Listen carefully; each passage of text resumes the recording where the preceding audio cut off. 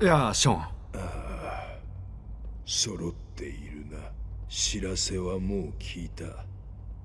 だがうまくいっていなかったのならここにいるはずはない。うまくいってよかった。だが無事で本当によかった。痛みはないのか？気遣ってくれてありがとう。大丈夫だ。心配しないでほしいとにかくインスティチュートのことを頼んだ。みんなを頼む。いい人ばかりだから分かってるとは思うけどもアリーはインスティチュートに尽くしてくれた。そして私にも彼女は頼れる人だ。私が死んだらあとはあなた次第だ。本当にできることはないのか？もっと効果のある治療法は？永遠不滅のものはない。不可避なことを遅らせることはできてもその代償はあまりにも高くつく。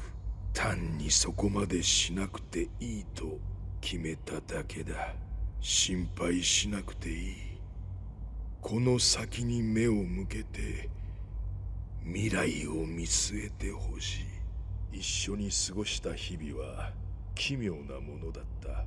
あなたがどんな人なのか何年も想像していた。失った時間のことに思いを巡らせたりもした。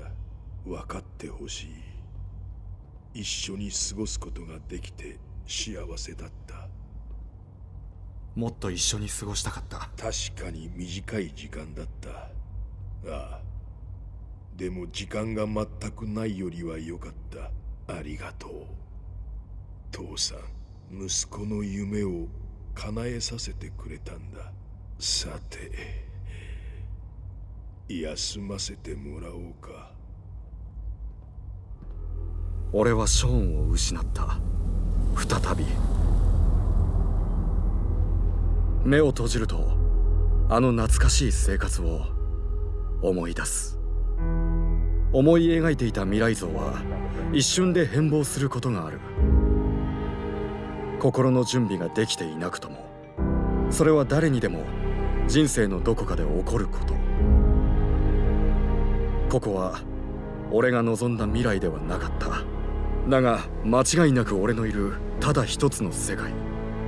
連邦。我が故郷は引き裂かれてまた一つになった。きっと家族を探し出せる。そう思っていた。叶うならば時計の針を戻し全てを元通りに。だが分かってる。もう後戻りはできない。世界は変わりこの先に待つのは険しい道。今度は覚悟ができている。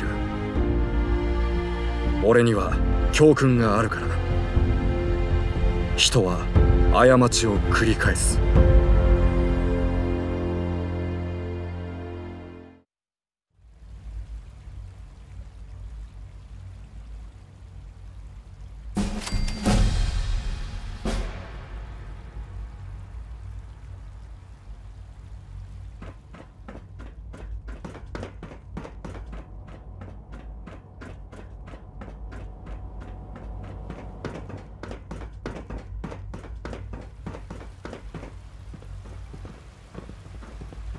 聞くところによるとあのリベルタリアの不良人造人間はかなり危険な案件失礼するよアリ。亡くなったのね。戻ってくれてそうなの。ねご愁傷様です。とても辛いことでしょう。君のことを話していた。いつも信頼していたと。とても嬉しいです。ありがとう。今後あなたもそう思ってくれるといいんですけど当然部屋はあなたのものです。申請書で補充して自由に使える備品を追加しておきます他の部署でもあなたの力を必要としているかもしれません。様子を見に行ってください。頑張ってください。